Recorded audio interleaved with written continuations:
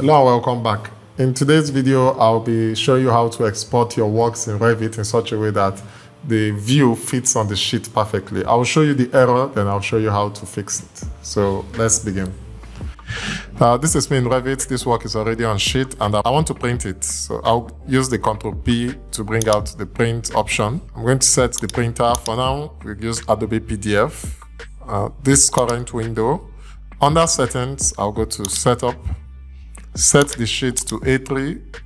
Under paper placement, set it at center, uh, zoom to fit to page. And uh, I'm just going to leave all these other ones, landscape, vector, and these options untouched. So if I click OK to print the work and um, save it on my desktop and click on save. If this work saves and I go to the desktop to check on it, this is it. So this is the error here, is that you can see that the drawing view doesn't sit entirely on the sheet. There is this extra border that makes the drawing far smaller than the sheet. So I'm just going to show you how to correct this error in Revit. So back to Revit, click on the Ctrl P for print.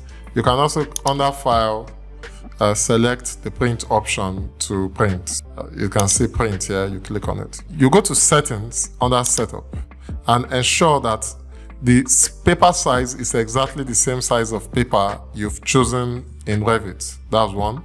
Secondly, under zoom, select zoom and not fit to page and zoom to 100%.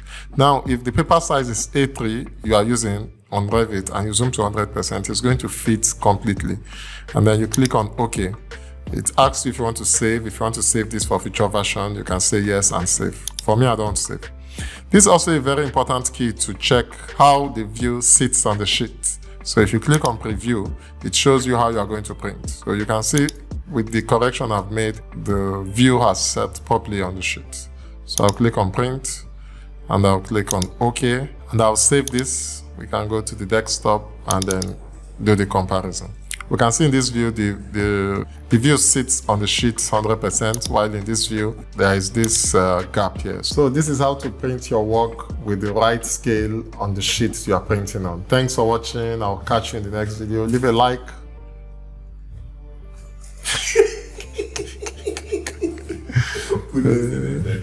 okay.